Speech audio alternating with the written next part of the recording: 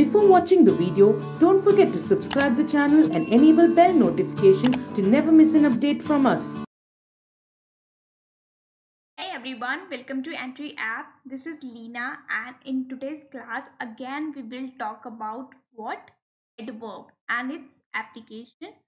So every time you will see some sort of questions based on adverb okay, and it will help you in all kind of uh, parts in your English section okay.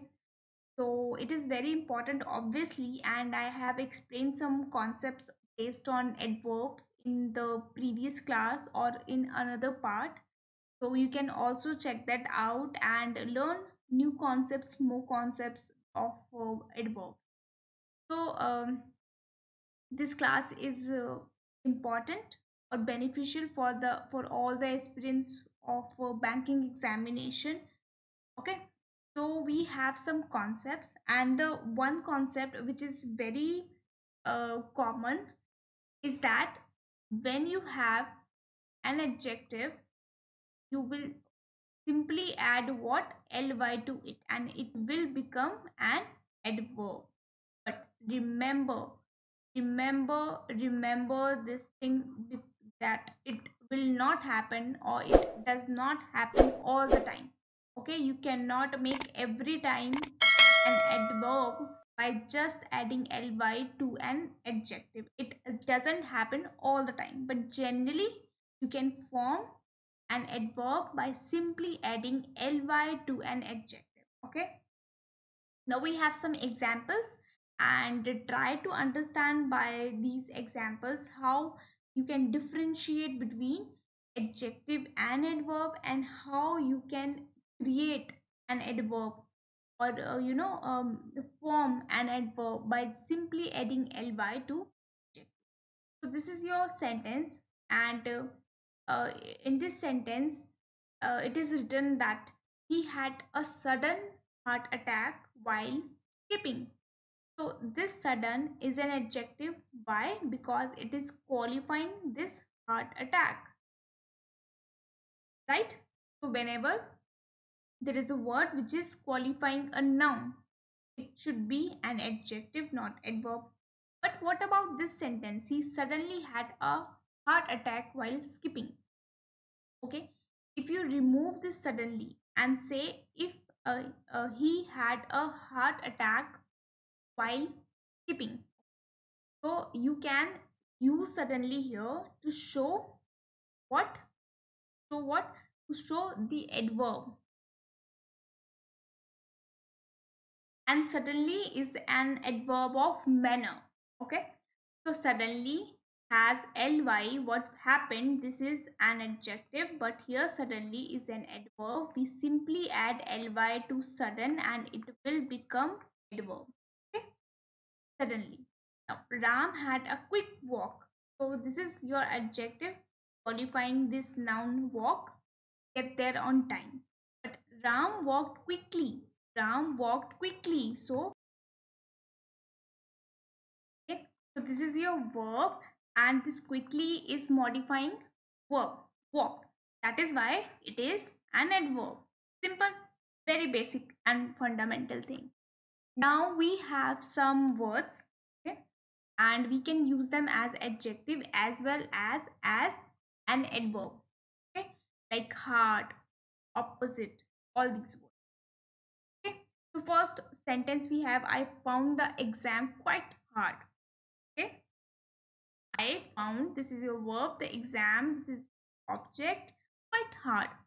So uh, do you know about object complement okay this is the this object complement and basically this is what an adjective okay? I found the exam hard okay? And quiet is an adverb quite hard right? I found the exam quite hard. So hard is an adjective but quiet is an adverb. I failed uh, it should be he okay? He failed his exam as he didn't try very hard okay?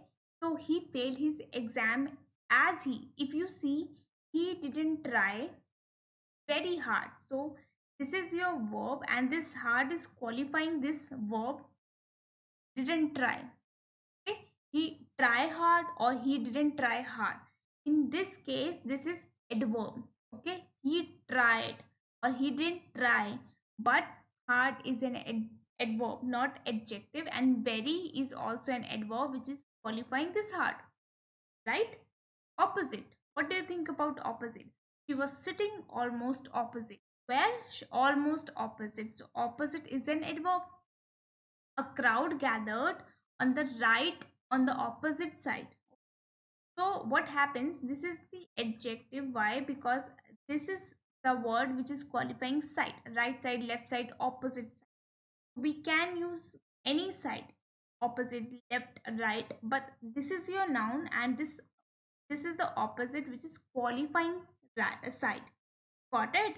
So we have hard and we have opposite. We can use them as uh, adjective as well as an adverb. Clear? Next we have fast in the same way we can use fast and late. Okay i keep my watch 10 minutes fast. This is the adjective. She was driving too fast. She was driving fast. Okay? It is describing this verb. Okay? And uh, this is an adverb again which is qualifying fast. So two is fast and fast is also uh, is uh, ad adverb and fast is also an adverb now last the cab arrived late because of rain. So the cab arrived late. Okay? This is an adverb. It was late summer. So this uh, word late is you know qualifying summer. Okay? It is qualifying summer which is a which is a noun. Yeah? So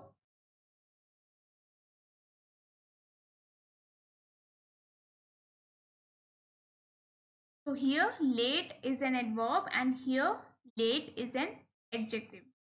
Yes? Now we have some adverbs like even how never next now rather so soon as still and so on.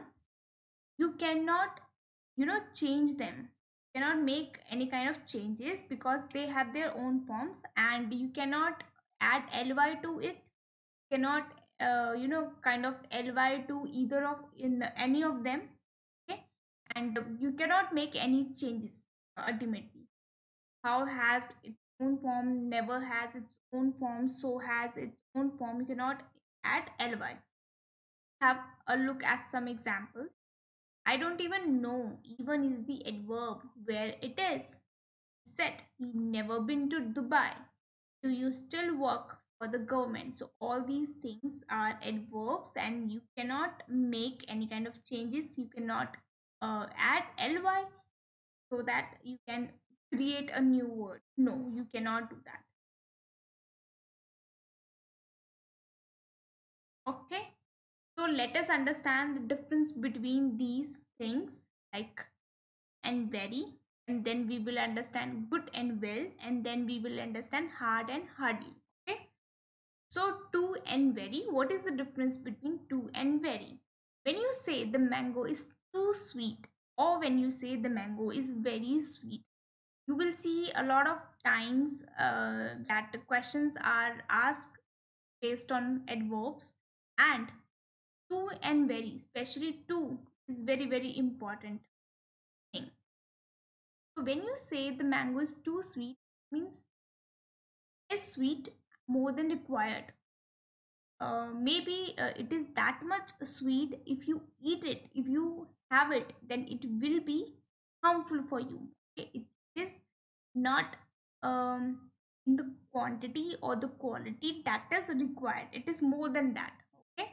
When something is more than more than what required you have to use to but obviously this sentence is not talking about in that context. This sentence is talking about the mango which is sweet and very is an adverb which is used to describe more about it. Yeah? To is an adverb. Obviously it is an adverb. Very is also an adverb. Okay? But okay i'm sorry it is verb not sweet is an adjective. Okay? So uh, very is an adverb uh, and to is also an adverb but when you want to say something in uh, uh, that context when uh, something is more than required or more than uh, you need it you will use to okay, before the adjective. Otherwise you will use very not clear like the mango is too sweet okay? Mango is very sweet and uh, there is one more uh, usage of two where you will see two with two. Will see two with two in the pair. Like she is too wise positive degree of adjective. She is too wise to be cheated. Okay? it means uh, she is she is uh, wise enough and you cannot cheat her. Right this is uh, the thing or this is the meaning of two and two. Ran too fast the police to catch. Okay? he ran too fast for the police to catch means something uh, is more than required. He ran too fast or she is too wise. You cannot cheat her. You cannot do any kind of uh, play foul or you cannot you know trick with her he is too wise to be cheated. The thief ran too fast for the police to catch. Now let's talk about too and very. So the mango is too sweet and the mango is very sweet. Which one is the right sentence? So when you use too before an adjective in this context obviously this is an adverb but too has the meaning which is more than we required okay in this context too means something which is more than required. Okay? Something which is more than required. But if we say very you are complementing it okay? Or you are giving more information you are modifying or describing it. So the mango is very sweet is fine but you cannot say mango is too sweet. It means it is not good for your health. It is too much sweet and you don't want that okay? In this context it is too much sweet okay? So this is incorrect sentence and if you want to say something like that in that context you can use too okay? If you say he's too good it will give the negative meaning okay? Too good. No you cannot say. If you want to compliment someone you cannot say he's too good. We say generally in spoken english but it is not grammatically correct right so there is one another use of two with the pair of two and uh, why do we use it? To show some kind of uh, negative situation okay? Two and two t o o and two when you when we use them in a pair they have a negative meaning. It means more than uh, we required or more than i would say necessary so if we say the news is too good to be true okay? So uh, it is too good so it cannot be true. Means it is too good and it cannot be true right? So we have used two with positive degree and then two right? The bag was too heavy. Means it's too heavy it should not be that much heavy bag was too heavy for me to lift. So two and then yeah uh, then positive degree and then use of two. Am i clear to you? Next. We have good and well. So uh, understand that good is an adjective but well is an adverb right? This is an adjective which qualifies which can qualify noun and pronoun but well well is an adverb and it will qualify or describe verb or adverb right? In this example you did a good job. So job is the noun and good is an adjective which is qualifying job correct? You did the job well. So job you did the job well. Now this well is qualifying what? You did the job. The action. It is qualifying the action. You did something how well okay? It is giving you the answer of how you did something you did the job. How did you how did you uh, do the job well okay? So this is adverb and this is adjective. Did you do good on your exams? No we cannot say do you good? Do you uh, did you do good? No.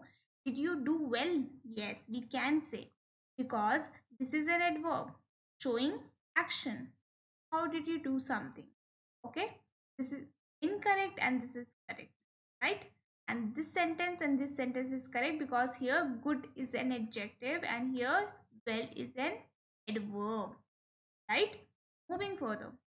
Hard and hardly. See there is a difference between hard and hardly. And what is the difference? First of all you can use hard as an adjective and as an adverb okay. But hardly is an adverb right? Hardly is an adverb. So hard means uh, when something is difficult to do or to understand something like that. When you say hard work hard task right? And something is difficult to do okay? And something is difficult to do or difficult to understand but what is the meaning of hardly? What is the meaning of hardly? Hardly means when something is rare almost not possible. Almost not possible.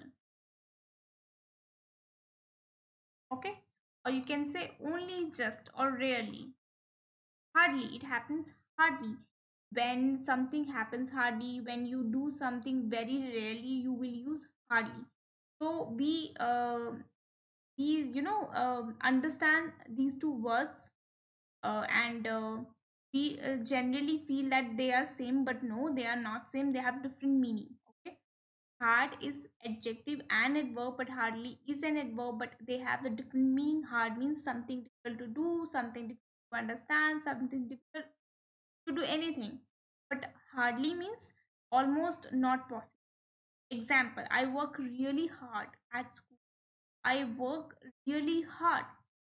Work is the verb and hard here is an adverb which is qualifying what? Action verb.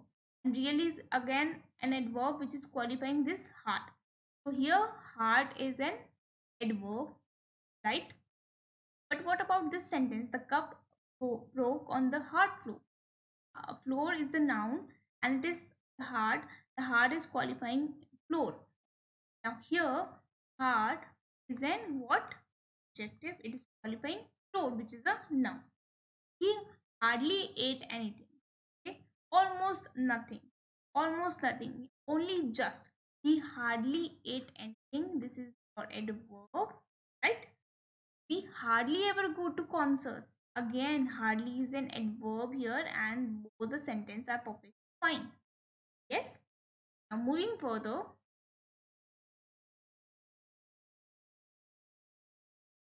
Okay. There is another concept which says much qualifies what adjective or adverbs in comparative degree only.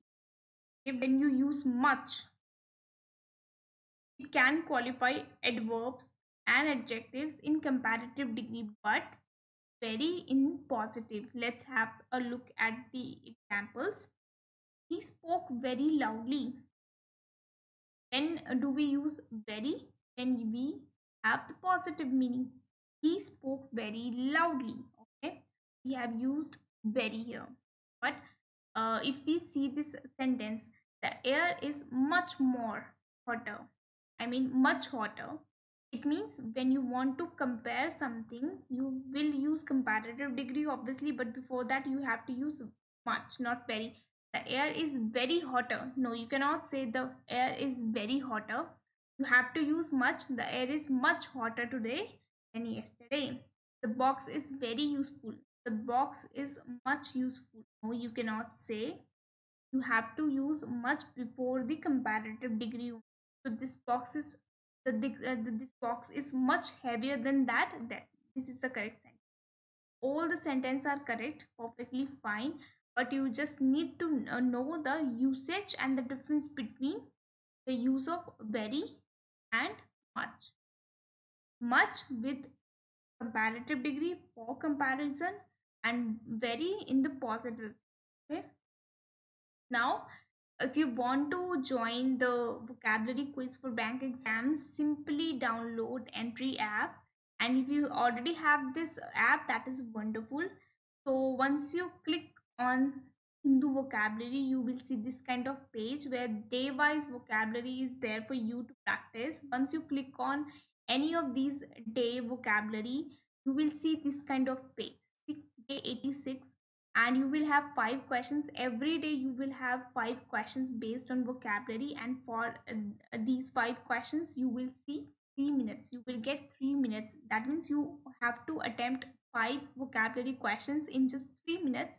And if you have answered all these correctly then you will score 20 marks. But if not then you will have this kind of analytics like suppose you have uh, answered four correctly and one uh, incorrectly then you will see this kind of data or stat statistics for yourself. And you can also practice subject wise questions as well. Simply go to subjects. You will see english professional knowledge quantitative aptitude and all these things. And suppose once you click on english you will see this kind of page. Here you can change the exam and you can practice all these kind of questions like you will have miscellaneous exercises phrase replacement questions paragraph paragraph completion questions synonyms antonyms all these right? So this is all about today's class. If you like this class hit the like button. If you have any kind of query write in the comment box and also share this class with you. Thanks for watching. I'll see you next class